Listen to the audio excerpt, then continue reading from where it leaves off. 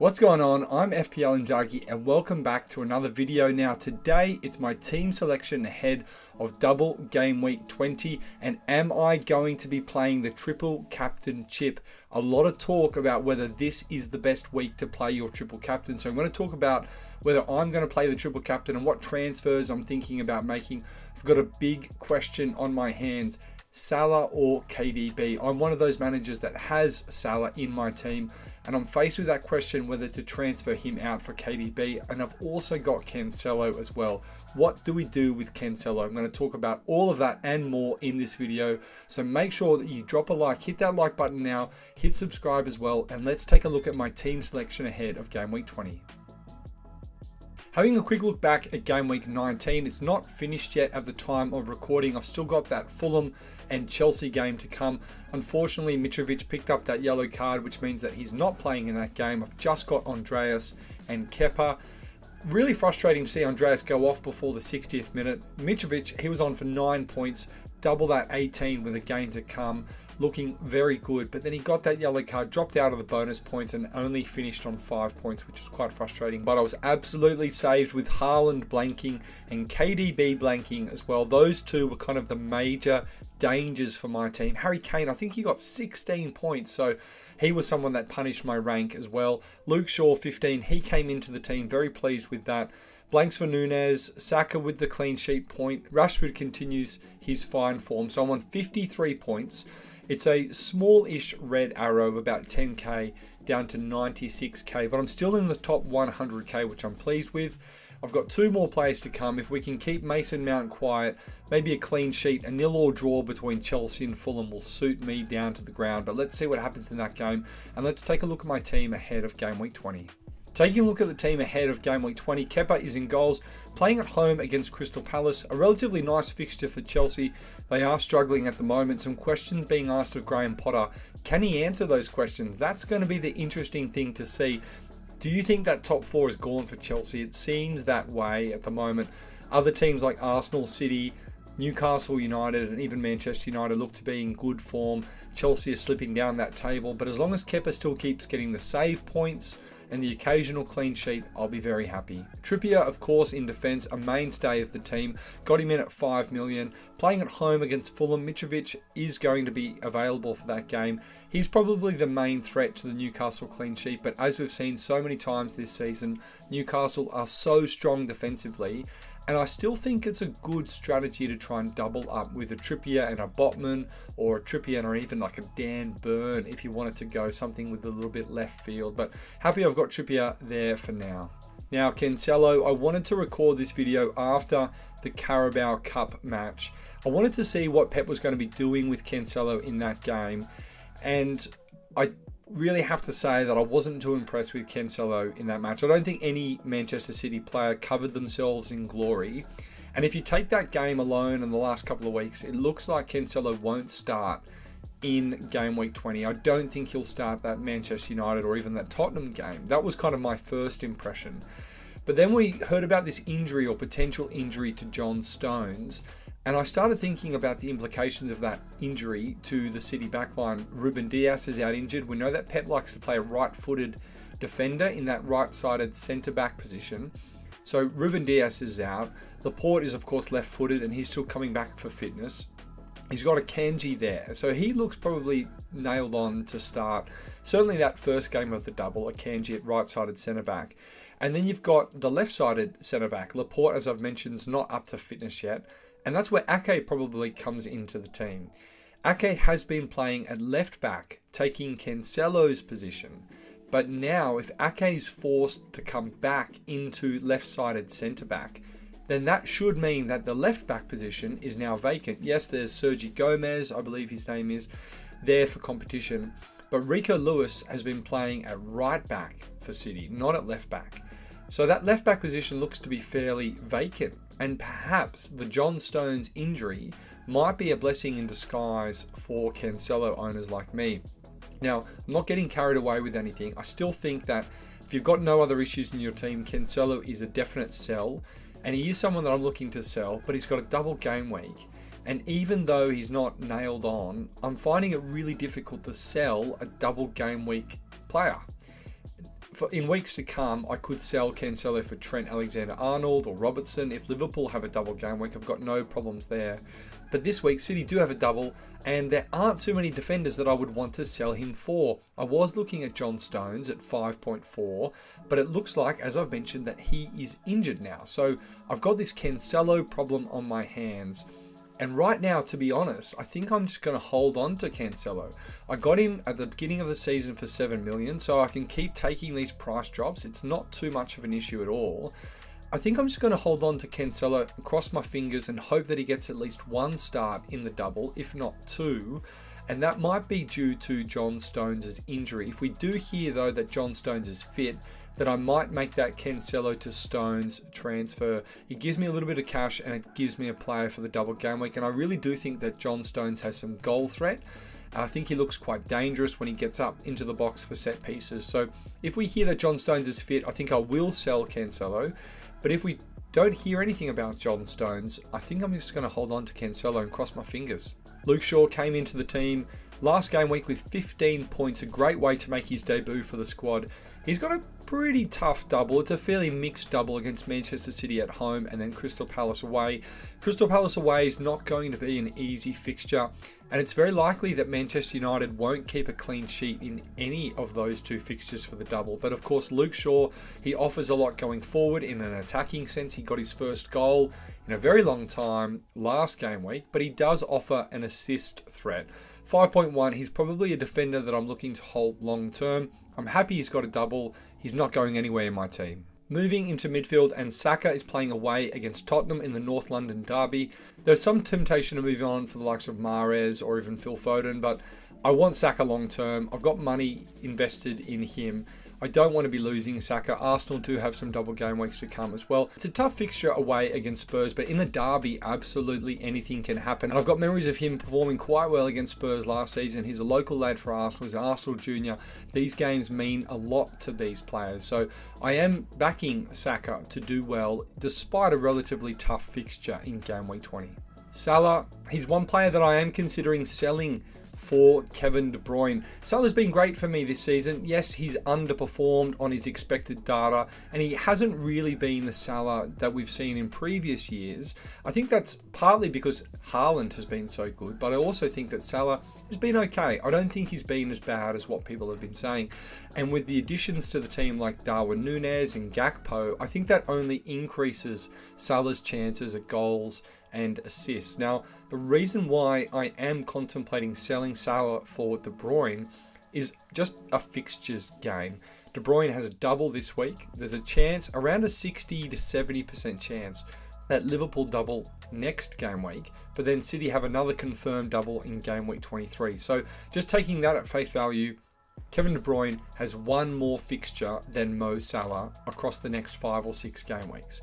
But kind of digging deeper into what my transfer plans potentially could be, and there's a chance that I go Salah to De Bruyne this game week, have De Bruyne for the double game week 20, and then if Liverpool get that double in 21, I could just go straight back. Now, a lot of people don't like that hokey cokey, but the rest of the team is not looking too bad. And so if I don't get any other fires crop up between now and the deadline, that is a very likely scenario for me that I go Salah to De Bruyne, get that double game week in, and then I just go back from De Bruyne to Salah next game week and just make sure that I've got that 0.3, 0.4 in the bank to make that transfer if needed. Because I do want Salah for game week 21 if they double. If they don't, I'd happily hold on to De Bruyne all the way through until the end of double game week 23 for Man City. What might change that plan though is if we hear that Liverpool have a confirmed double in 21. If we hear that Liverpool have a confirmed double in 21, right now, at the time of recording, it's just a 60 to 70% chance.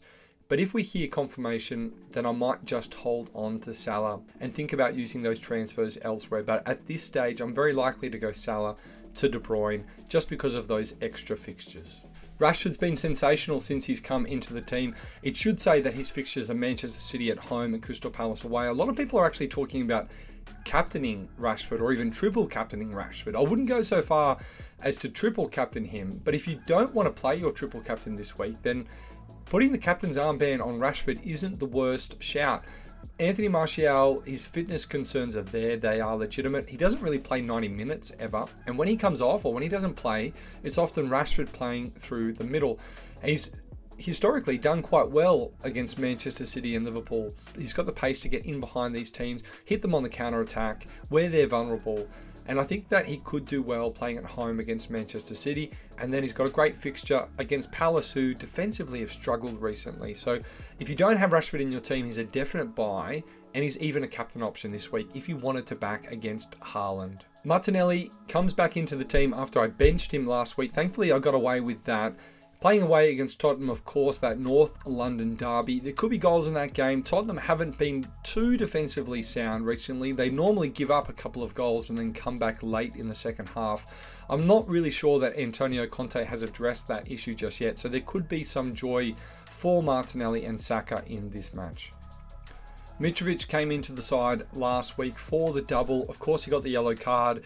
And looking back now, I kind of do regret making that transfer. There's probably a little bit of outcome bias there, but one of the transfers that I'm looking at making this week is Mitrovic back to Martial, and that's the player I had before I sold Martial for Mitrovic. So a little bit of frustration there. I think that if he played that second fixture against Chelsea, got a return in that, and let's say that he finished on double digits, captain into the 20s, then I'd look back and I'd happily make that extra transfer. But it just feels like if I'm going to go Mitrovic back to Martial, it feels like going back a step, even though Martial has that extra fixture. So it's something I'm thinking about. But suffice to say, I'm not that pleased with Mitrovic and the team. I think this is a tough fixture away against Newcastle in double game week 20. And the managers who already have Martial in place, I think you're much better suited. I just don't have the funds to be able to go from Mitrovic to Kane. If I was able to do that, I would probably do so, but it would force me to downgrade Salah to someone like a Foden or a Mahrez to upgrade Mitrovic to Kane, I just don't want to be making that transfer. So looks like I'm stuck with Mitrovic for now. Haaland, and he has the triple captain active right now. Let me tell you why I'm very likely to play my triple captain this week. Yes, the fixtures are tough. Manchester United away and Tottenham at home. You can see that on the screen. But when it comes to playing your triple captain, the three things that I look for is a double game week, which he has, a great asset, which he is, and certainty of minutes, which we do have for Haaland. Yes, there might be a point later in the season when he has better fixtures, but I do not think that we will have greater certainty around his minutes then than we do now. So, for instance, the other double game weeks that Ben Crellin is talking about for Manchester City, he's suggesting that game week 23, which we already know is confirmed, He's suggesting that that double game week is going to be affected by FA Cup. Arsenal are playing Manchester City in the FA Cup. There's chances there that if they draw, that there might be a replay, which will again kind of add to that congestion of the fixture schedule. But with the fixtures in double game week 23 that Manchester City has, I believe it's a Sunday to Wednesday turnaround, which is much less than the Saturday to Thursday turnaround that we're looking at at the moment. So the rest in double game week 23 is less. And we don't know that Haaland's going to be fit then. It's a couple of weeks away. It's about a month away, in fact. And we don't know that KDB is going to be fit. We don't know what is going to be happening with City's team at that time. And we don't know how it's going to be impacted by the short turnaround and the FA Cup. So let's look forward to double game week 34 and double game week 37. Try and stay with me here. These are the other two double game weeks that Ben Crellin has spoken about as being big double game weeks and it looks like City could get some favourable fixtures in double game week 34 and 37. But the problem with 34 is that is probably the week that I want to play my bench boost. At the moment, that is the week I'm looking to play my bench boost, and I can't play my triple captain the same time that I'm playing my bench boost. So that's kind of ruled out. How about 37? Well, double game week 37. It's only one game week before the end of the season. The league might be wrapped up. I don't know which team's going to win it at this stage, but it might be wrapped up by then, and City might be resting players. They might be in the semi final or the final of the Champions League, and therefore be resting players in the league for the Champions League. We don't know what's going to be happen- happening with the fixtures and the injury status of players in 34 and 37, despite the fixtures arguably being better. So for me, it comes back to the three foundational principles of playing a triple captain chip. A double game week or a triple game week? Tick. A great asset? Tick. certainty of minutes tick. And so for all of those reasons, I'm 80% likely to play my triple captain chip this week for Erling Haaland. Let me know in the comments below. Are you playing your triple captain chip as well? Or are you going to be waiting for a different game week? If so, I'd really be interested to know why. And finally, Darwin Nunez up front. A few managers are selling Darwin for Harry Kane. But I'm just not really able to afford that unless I make significant downgrades. The managers who have the funds to do that have an Almiron over a Saka, and I'm happy to have Saka. Yes, it might mean a little bit of pain this week, but in weeks to come, when Arsenal have a double game week, I'm happy that I've got Saka in the team. So I've got Darwin Nunez there and Saka over the likes of Almiron and Kane. That's the bet I've made. I'm just going to have to lie on it. I I still back Darwin Nunez to start converting some of the expected data that he's generating as well. So I'm still team Darwin Nunez, and I'm fully expecting him to start banging in the goals anytime soon. And that means on the bench we've got Ward, White, Andreas, and Patterson, is of course injured. That's probably an issue I've got to deal with at some point, but it's not pressing right now. I really dislike having White in the team. He's someone that I would love to get rid of, and then I would free up that third Arsenal spot for an Odegaard or an Nketiah. And there is some temptation to get rid of White if Salah and Liverpool, for example, have a confirmed double game week in 21, then I might just leave Salah, disregard KDB, and address the white issue, maybe get a third Man City defender or a third Man City player, the second defender in the team. Go for someone like an Akanji or an Ake, a Stones if he's fit, for Ben White, and then that frees up that third Arsenal spot. But I've got Ben White in there for now, and I think my bench will probably be just as it is here for double game week 20. Having a look at the transfer status, I've got one free transfer. I really envy the managers who have two you're in a great position this week. You could make three for a minus four. Squad value is not too bad. And the chip that I've got in play at the moment is the triple captain. Let's talk about my transfers for double game week 20. So at this stage, the one free transfer that I'm looking to make is Salah to Kevin De Bruyne. And it's for that double game week. I don't even mind having to go back to Salah next game week if Liverpool have a confirmed double. As I already said in the video, if Liverpool do get a confirmed double in 21 before the 20 deadline, then I might backflip on this move and keep Salah in the team and make a defensive transfer to get a third City asset. But if we don't hear anything about the Liverpool double game week in 21, then this is the likely move that I will make. Salah out for De Bruyne. I think they're quite close in terms of expected points, but when you throw in an extra fixture for De Bruyne, then frankly, I'm happy to buy a ticket to that lottery. And when you look back at the points that these two have scored since the unlimited transfers, I started with Salah. And at the moment, I think Salah is around 10 or 11 points better off than De Bruyne since game week 17. So the managers who started with De Bruyne already have him in place for this week. I'm around 10 points better off than they are. And if I was to sell Salah for De Bruyne, I have a very similar team to them. I've got De Bruyne, they have De Bruyne, but the difference is, is that I've got around 10 extra points. Even if you factor in, let's say a minus four for a transfer, that they're one transfer ahead, then it ends up being around a net gain of six points. So taking a hit for Salah to De Bruyne still leaves me with a net overall gain, which I'm really happy with. So that's my likely transfer to go Salah to De Bruyne. There is one more transfer that I am contemplating, and it's Mitrovic out for Martial. Now, as I've already mentioned, I do have some slight concerns here. The algorithm really loves this transfer, Mitrovic to Martial. But my main concerns is just Martial's fitness. Wout Weghorst has been confirmed now as signing for Manchester United. And by all reports, he's keen to hit the ground running. He's made himself available for the Manchester Derby as well. So there's some, you know, doubt there for Martial's expected minutes. So this is a transfer that I'm actually leaning towards not making, but I did originally plan as part of a minus four. Mitrovic out, Martial in, it gives me an extra fixture, and I'm not expecting much from Mitrovic away to Newcastle. So it kind of feels like that minus four will be earned back straight away. And then Manchester United are very likely to have a double game week in game week 22. So I'm kind of getting, you know, three extra fixtures there, or two extra fixtures at least, I should say, over Mitrovic for Martial.